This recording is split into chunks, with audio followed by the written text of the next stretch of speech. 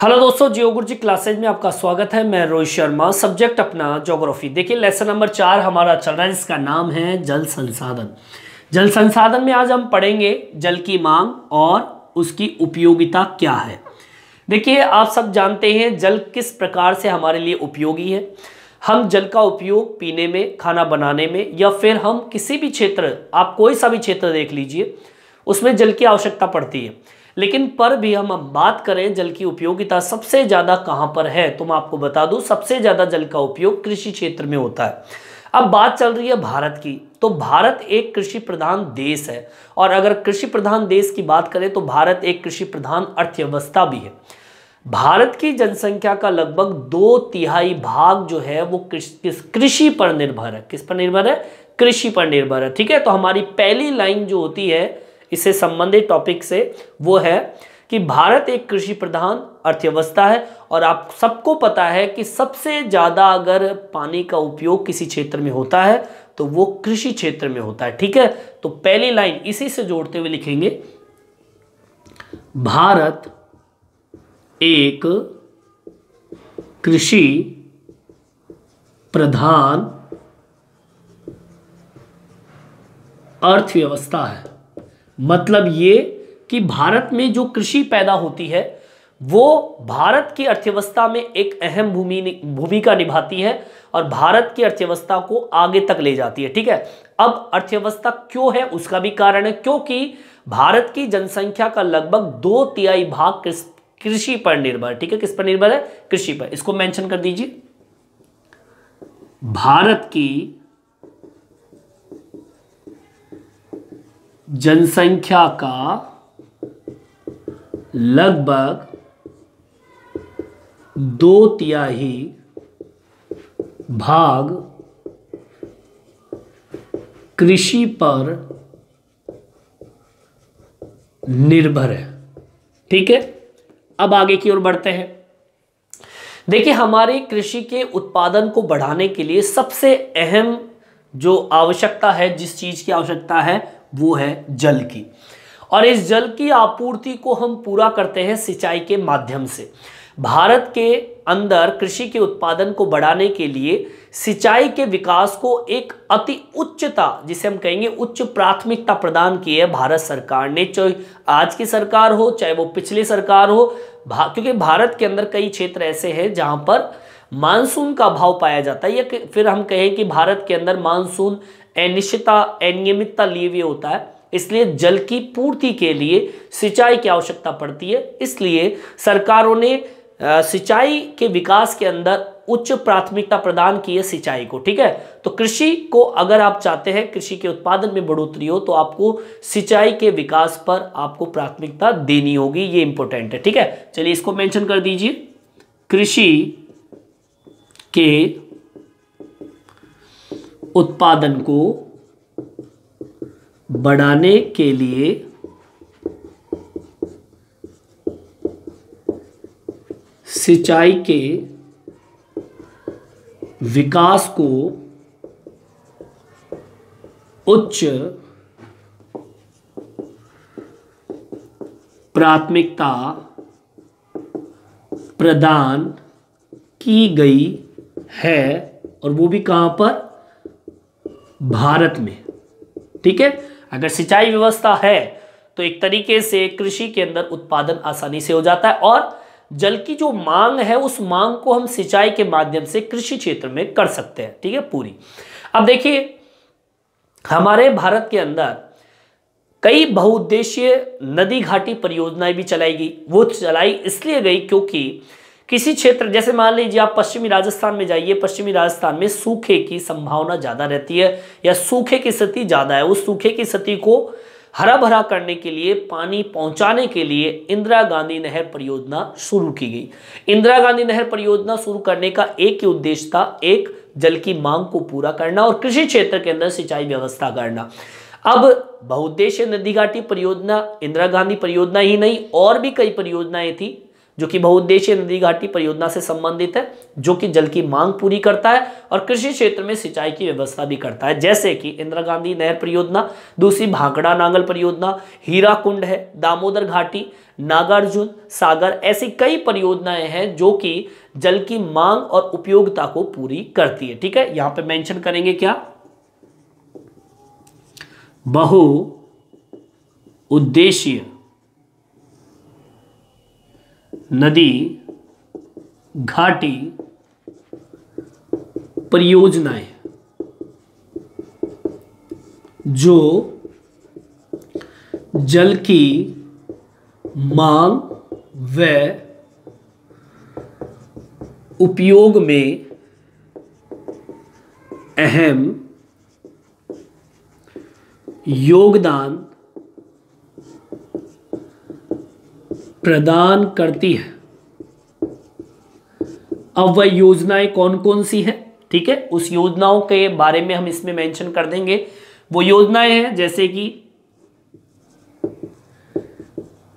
इंदिरा गांधी नहर परियोजना, ठीक है, मुख्य है राजस्थान की। भाकड़ा नांगल परियोजना, ठीक है? ये भी मुख्य है। इसके अलावा हीराकुंड है। हीराकुंड है।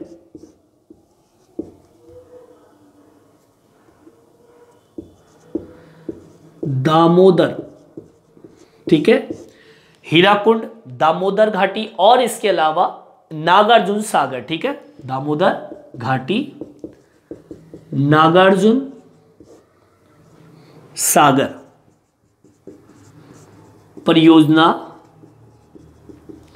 ठीक है, ये ऐसी परियोजनाएँ हैं जो कि जल की मांग को पूरी करती है और जिस क्षेत्र के अंदर जल की कमी है, जैसे कि इंदिरा गांधी नहर परियोजना, पश्चिमी राजस्थान को हरा भरा करने में एक अहम भूमिका निभाती है। ठीक है, चलिए आगे की ओर बढ़ते हैं। देखिए, भारत की वर्तमान में जल की मांग और सिंचाई की आवश्यकता जो है वो सबसे ज़्यादा है। ठीक है? अब ये जो सिंचाई की आवश्यकताओं की जो पूरी होती है, वो किन किन क्षेत्रों से होती है? तो मैं बता दूँ आपको, धरातलीय क्षेत्र और भौम जल से मतलब जो धरातल के ऊपर है और जो धरातल के नीचे है। ठीक है? इसको मेंशन कर दीजिए, लिखना क्या है? भारत की वर्तमान में स्थिति जो है, वो जल की मांग और सिंचाई की आवश्यकता के लिए अधिक है। इसको मेंशन करेंगे। भारत में वर्तमान में जल की मांग व सिंचाई की आवश्यकता सर्वाधिक है। ठीक है? अब इसी के साथ में मेंशन करेंगे कि ये आवश्यकताएँ पूरी कहाँ से होती है? ठीक है? लिखेंगे। भारत में जल की मांग व आवश्यकता को धरातलीय व भूम जल क्षेत्रों से पूरा किया जाता है। मतलब ये कि भारत के अंदर जो जल की मांग है, जल की आवश्यकताएँ हैं, वो कहाँ से पूरी की जाती है? वो पूरी की जाती है धरातलीय क्षेत्रों से और भौम जल क्षेत्रों से। धरातल पर जैसे कि नदी, तालाब, तलैया वहाँ से और भौम जल में जो कि आपके धरातल के नीचे है, वहाँ से पानी निकाल कर जल की मांग और आवश्यकताओं को पूरा किया जाता है। ठीक है? चलिए यहाँ तक आपके समझ में आ गया होगा मेरे हिसाब से। ठीक है? एक बार मैं फिर से रिपीट कर देता हूँ, सुन लीजिए। टॉपिक अपना, जल की मांग और उपयोगिता। भारत एक कृषि प्रधान अर्थव्यवस्था है और एक कृषि प्रधान अर्थव्यवस्था को जल की आवश्यकता पड़ती है। भारत की जनसंख्या का लगभग दो तिहाई भाग जो है वो कृषि पर निर्भर करता है। अब इतने लोग कृषि पर निर्भर है तो कृषि तो होनी है सबसे ज़्यादा और कृषि के लिए जल की आवश्यकता पड़ती है। अब कृषि जब उत्पादित होती है तो कृषि के उत्पादन को बढ़ाने के लिए हमको किसकी आवश्यकता पड़ती है? सिंचाई की आवश्यकता पड़ती है और वो भी उच्च स्तर पर, ठीक है? अब उच्च स्तर पर अगर आवश्यकता पड़ेगी तो आपको उच्च, उस सिंचाई व्यवस्था के लिए आपको विकास की व्यवस्था के लिए आपको उच्च प्राथमिकता उस सिंचाई व्यवस्था को देनी पड़ेगी, ठीक है? और भारत में बहुउद्देशीय नदी घाटी परियोजना वही विकास की स्थिति को प्रकट कर रहा है कि भारत में जिन क्षेत्रों के अंदर जल की कमी है, उन कमी को हम पूरा कैसे करें? तो भारत सरकार ने क्या किया? कई ऐसी बहुउद्देशीय नदी घाटी परियोजनाओं का निर्माण किया जिससे कि जल की मांग को पूरा किया जा सके। वो मांग की पूर्ति किन किन क्षेत्रों से की गई? जैसे कि इंदिरा गांधी नहर परियोजना है भाखड़ा नांगल परियोजना हीराकुंड है, दामोदर घाटी है, नागार्जुन सागर है। ये ऐसी परियोजनाएँ हैं जो भारत के अंदर जल की मांग किसी भी क्षेत्र में हो, उसको पूरी करती है। अभी कृषि क्षेत्र में ही नहीं, कृषि क्षेत्र है, चाहे वो औद्योगिक क्षेत्र है, ठीक है, चाहे वो घरेलू सेक्टर है, कोई सा भी सेक्टर होता है, वहाँ पर इन परियोजनाओं से जल की मांग की पूर्ति की जाती है। भारत में वर्तमान में सबसे ज़्यादा जल की मांग है और वो भी सिंचाई की आवश्यकता के लिए, ठीक है? जल की मांग तो हर क्षेत्र में हो सकती है। चाहे वो औद्योगिक क्षेत्र हो, चाहे कृषि क्षेत्र हो, चाहे वो घरेलू सेक्टर हो। और कृषि क्षेत्र के अंदर तो सिंचाई की आवश्यकता पड़ती है तो इस पर ध्यान दिया गया। भारत में जल की मांग और आवश्यकताओं को अब पूरा करने के लिए जल की आवश्यकता कहाँ से पड़ी?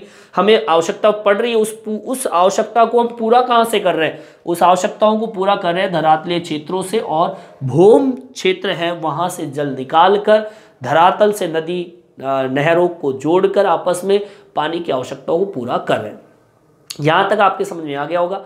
अब मैं आपको बताऊँगा किन किन क्षेत्रों के अंदर धरातलीय क्षेत्र का कितना प्रतिशत और भौम जल का कितना प्रतिशत किन किन क्षेत्रों में उपयोग हो रहा है। इस पे भी हम बात करेंगे। चलिए यहाँ तक आपके समझ में आ गया होगा, यहाँ तक आप उतार लीजिए। देखिए, सबसे पहले हम बात करेंगे कृषि क्षेत्र में। मैं आपको बता दूँ, धरातलीय भौम जल का सबसे अधिक उपयोग अगर कहीं पर हो रहा है तो वो कृषि क्षेत्र में हो रहा है। ठीक है? मेंशन करेंगे। धरातलीय व भौम जल क्षेत्रों का सबसे अधिक उपयोग कृषि क्षेत्रों में हो रहा है। ठीक है? कृषि क्षेत्रों में सबसे ज़्यादा उपयोग हो रहा है। अब हम बात कर लेते हैं कितना कितना प्रतिशत। तो मैं बता दूँ आपको धरातलीय जल का, ठीक है? धरातलीय जल का निवासी प्रतिशत, ठीक है? निवासी प्रतिशत व भौम जल का ठीक है? धरातलीय जल से निकला हुआ जल जो है वो तो निवासी प्रतिशत कृषि क्षेत्र में जाता है। और भौम जल का बाणमय प्रतिशत, कितना प्रतिशत? बाणमय प्रतिशत जल का उपयोग होता है। जल का उपयोग होता है। ठीक है? अब सुनिए, ये तो हुआ कृषि क्षेत्र का। ठीक है? यहाँ मेंशन कर देता हूँ, कृषि। अब हम बात करते हैं आपके औद्योगिक क्षेत्रों की। औद्योगिक क्षेत्र में जो धरातलीय क्षेत्र है, वहाँ का दो प्रतिशत और भौम जल का पाँच प्रतिशत जल उपयोग होता है, ठीक है? लिखेंगे।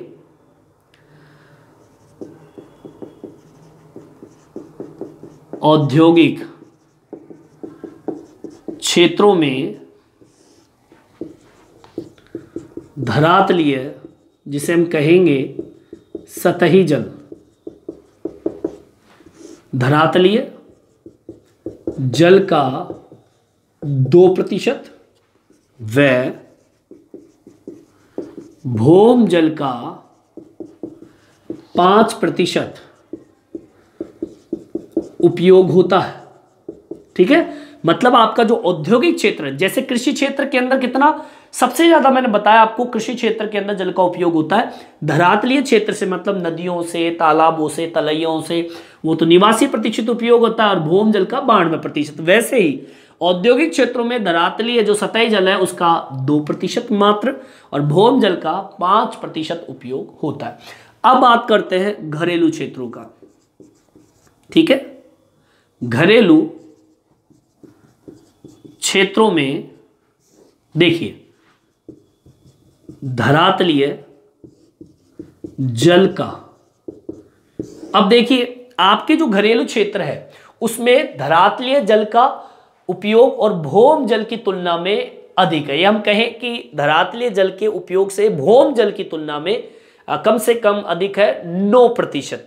आगे वसन में इसको ढंग से सुनिए। घरेलू सेक्टर के अंदर धरातलीय जल का उपयोग भौम जल की तुलना में नौ प्रतिशत अधिक है। मतलब ये कहेंगे कि धरातलीय जल का उपयोग सर्वाधिक है घरेलू सेक्टर के अंदर। ठीक है, इसको मेंशन कीजिए, कैसे करेंगे? घरेलू क्षेत्रों में धरातलीय जल का उपयोग भूम जल का या जल से नौ प्रतिशत अधिक है। ठीक है? इस तरीके से जल का उपयोग और जल की मांग जो है भारत के अंदर इस प्रकार से होती है, ठीक है? यहाँ तक आपके समझ में आ गया होगा, ये टॉपिक भी अपना कंप्लीट हो चुका है, ठीक है? चलिए यहाँ तक आप उतार लीजिए, इस वीडियो में इतना ही। ये वीडियो आपको कैसा लगा कमेंट्स करके ज़रूर बताएँ और मेरे चैनल को सब्सक्राइब ज़रूर से ज़रूर करें, जिससे नए नए वीडियो आप तक पहुँचा सकूँ। धन्यवाद।